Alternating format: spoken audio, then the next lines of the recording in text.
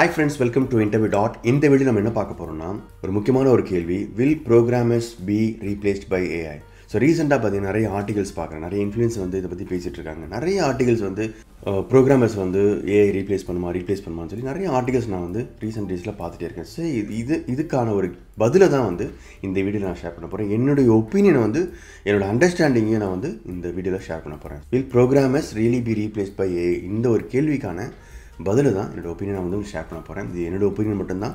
உங்களுடைய தாட்ஸை வந்து நீங்கள் வந்து கமெண்ட் செக்ஷனில் கொடுக்கலாம். ஸோ இந்த கேள்விக்கு வந்து ஸ்ட்ரைட் ஃபார்வர்ட் ஆன்சர் பண்ணிடுறேன். ஒரு ப்ரோக்ராமர் வந்து ஏஐ ரீப்ளேஸ் பண்ணுமா அப்படின்னு கேட்டிங்கன்னா கண்டிப்பாக கிடையாது. ஆனால் இதில் ஒரு பாசிட்டிவான விஷயம் என்னன்னு பார்த்தீங்கன்னா இந்த ஏஐ டூல்ஸ்லாம் இருக்குது பார்த்தீங்களா கிட்டப் கோ பைலட்டு சார்ஜிபிடி இந்த மாதிரி நிறைய டூல்ஸ் இருக்குது இந்த டூல்ஸ்லாம் என்ன பண்ணுவாங்கன்னா ஒரு சாஃப்ட்வேர் ப்ரோக்ராமுடைய ப்ரொடக்டிவிட்டியை ஒரு டீமுடைய ப்ரொடக்டிவிட்டி இன்க்ரீஸ் பண்ணுறதுக்கும் என்ஹான்ஸ் பண்ணுறதுக்கும் நம்ம யூஸ் பண்ணலாம். ஆனால் கம்ப்ளீட்டாக ரீப்ளேஸ் பண்ணுமா ஒரு சாஃப்ட்வேர் ப்ரோக்ராமர்னு கேட்டிங்கன்னா கண்டிப்பாக கிடையாது. ஸோ அதுதான் என்னுடைய ஆன்சர் ஸோ ப்ரோக்ராமர்ஸை ஏஐ ரீப்ளேஸ் பண்ணாது.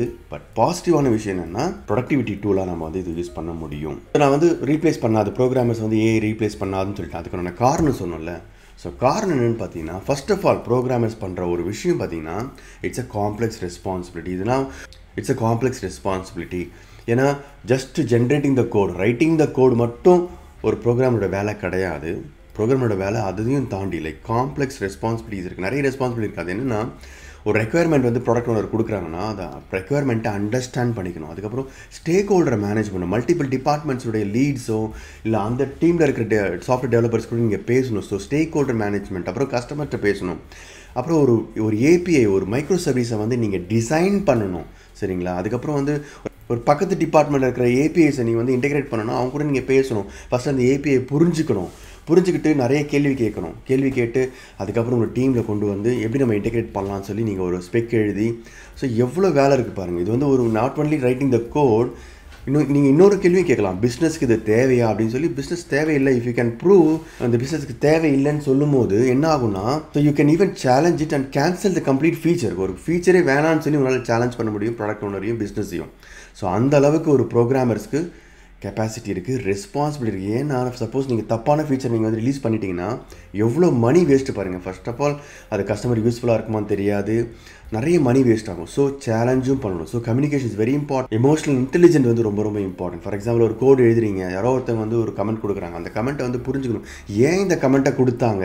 அப்படின்றத புரிஞ்சுக்கணும். எமோஷனலாக ரொம்ப லைக் உடனே வந்து என்ன நீ எப்படி என்னை பார்த்து நீ எப்படி சொல்லலாம்? இந்த மாதிரி கோடை நீ என் கோடை நீ எப்படி தப்பு சொல்லலாம்? அப்படின்னு சொல்லி நீங்கள் வந்து உடனே அதை வந்து தப்பான பார்வையில் பார்க்காம அவங்க என்ன சொல்ல வராங்கன்றத புரிஞ்சுக்கணும். ஸோ எமோஷனல் இன்டெலிஜென்ட் வந்து ஏகிட்ட இருக்கான்னா இன்னும் அதுக்கு ரெடி ஆகலை.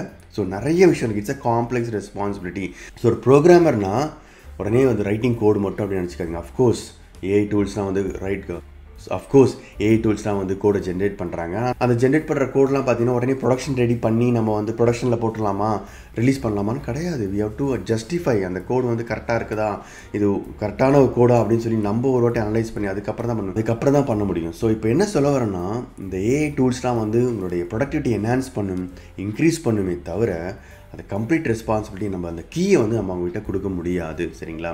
ஸோ இதனால தான் இந்த ரீசனால தான் will programmers really be replace by ஏஐனா கிடையாது. பிகாஸ் காம்ப்ளெக்ஸ் ரெஸ்பான்சிபிலிட்டி இருக்குது ஒரு ப்ரோக்ராமருக்கு ஸோ மறுபடியும் சொல்கிறேன் பாருங்கள் இந்த டூல்ஸை நீங்கள் வந்து கண்டிப்பாக யூஸ் பண்ணணும்.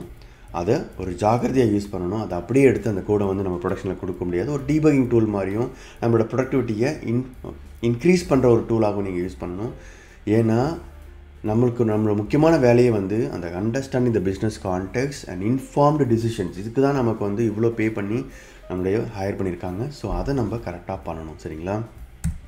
இன்னொரு விஷயம் ப்ரோக்ராமருக்கு fundamental matters so strong fundamentals in software engineering for example நீங்கள் வந்து ஒரு அல்காரதம் எழுதுறதா இருந்தாலும் சரி டிசைன் பேட்டர்ன்ஸை புரிஞ்சுக்கிறதா இருந்தாலும் சரி இதெல்லாம் தான் பார்த்தீங்கன்னா ஒரு ப்ரோக்ராமரை குட்டாக மாற்றும் சரிங்களா? குட் ப்ரோக்ராமராக மாற்றும் சரிங்களா?